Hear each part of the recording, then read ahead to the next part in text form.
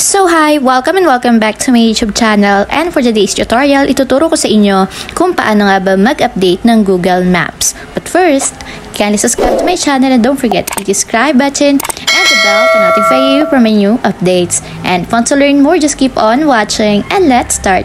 So ayan guys, for today's video, para sa mga Android users, pwede tayong gumamit ng Google Play Store para dito mag-update ng ating apps. So open lang natin yung ating Google Play Store and then pagka-open guys, mula dito sa pinakang homepage, tap lang natin yung search or pumunta lang tayo sa search bar and then i-type natin dito sa search bar yung Google Maps.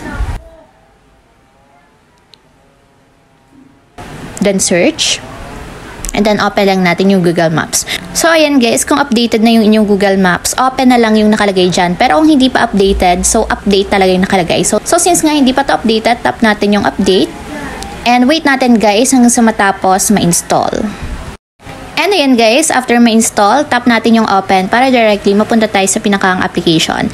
And ayan guys, kung mapapansin nyo, may mga bago ng features na dinagdag si Google since nga updated na ang ating Google Maps. So ayun lang guys, ganun lang kasimple kung paano nga ba mag-update ng Google Maps. If you have a question, kindly comment down below and don't forget to hit the subscribe button and the bell to notify you for my new updates. And thank you for watching! Living life, every day, late at night, not okay